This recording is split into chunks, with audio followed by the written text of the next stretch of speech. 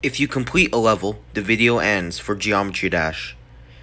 Alright, let's go. So if I complete a level, the video ends. Let's try a Turtle DX by Rage14.